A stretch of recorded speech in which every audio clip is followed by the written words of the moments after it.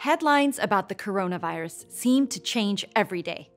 But there are some solid facts that won't change. Information about what it is and how you can protect yourself.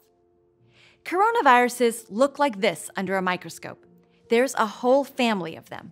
And they cause things like the common cold and other lung infections. The strain of coronavirus that's making news is called COVID 19. Researchers think it first passed from an animal to a person, but now it's spreading from person to person. And part of the worry is how it seems to spread easily compared to other viruses. It can cause mild to severe flu like symptoms. And while the headlines talk about death, it's important to know that almost all of the tens of thousands of people diagnosed around the world are not dying. People who have the highest risk of getting really sick or dying seem to be the elderly, and those who have other medical conditions like asthma, diabetes, or heart disease.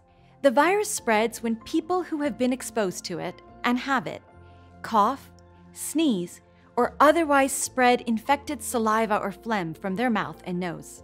These droplets might be breathed in by a nearby person, or land on something someone else will touch. Or an infected person might touch his or her mouth or nose, and then touch something like an elevator button or shopping cart. Healthy people come along, touch these things, touch their faces, and then they might get infected. The good news is that you can do things to protect yourself. The Centers for Disease Control and Prevention has many tips that can help prevent the spread of the coronavirus and many other germs like the flu. Do wash your hands. Lather up with soap and warm water and rub for 20 seconds, about the time it takes to sing Happy Birthday twice.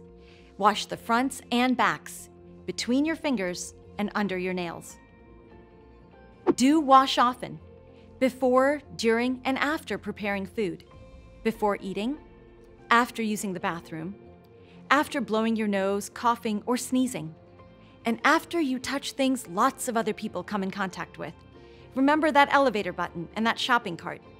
Do use hand sanitizer if you cannot get to a sink with soap and warm water. Make sure the sanitizer has at least 60% alcohol and rub it all over your hands and fingernails for 20 seconds. Let it dry completely. Do keep a safe distance from people who are sick. Staying six feet away from somebody is usually far enough to keep you from breathing in germs. Do use cleanser or soap and water on things that get touched a lot. Items like your electronics, doorknobs, light switches, and railings. You can carry wipes to clean surfaces in public areas, door handles, serving spoons at buffets or grocery stores, things shared in the office, and anything else lots of people touch. Don't touch your face, especially your mouth and nose.